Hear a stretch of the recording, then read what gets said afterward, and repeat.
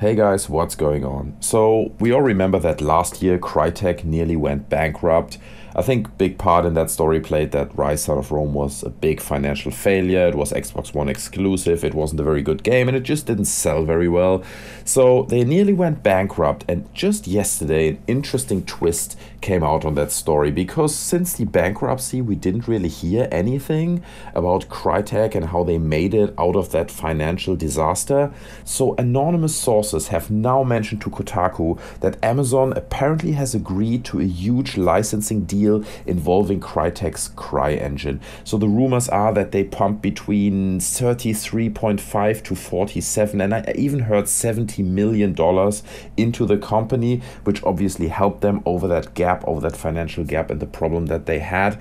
But the big question coming out of that is like what does Amazon want with the CryEngine. Obviously, they could just tweak it and then license it to other developers as their own product, but that would be a really, really bad deal for Crytek, right? Because they they're selling their main asset, which is CryEngine. in case their games are not very successful. This is always something they can fall back on. They're already licensing it to a lot of big games like Turtle Rock's Evolve and uh, Bethesda's upcoming free-to-play game Battle Cry. Star Citizen is running on the CryEngine, so it is an asset for them that they don't really want to lose. And if they would sell full rights to Amazon and then Amazon would sell it as their own engine and license it maybe cheaper to potential developers, I think it would be really bad for Crytek. So I don't think that's really the case. Another rumor that I read is that they not only bought the license to the engine, but also bought the team with it. So in that case, Amazon would now own big parts of Crytek.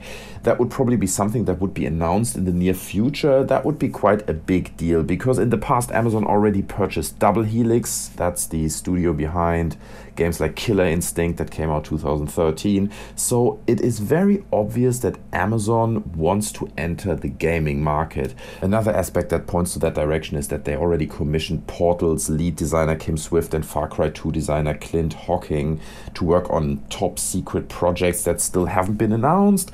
They launched an Android based gaming console in 2014, uh, the Amazon Fire TV, which failed miserably, but it really looks like they're pushing hard into the gaming market.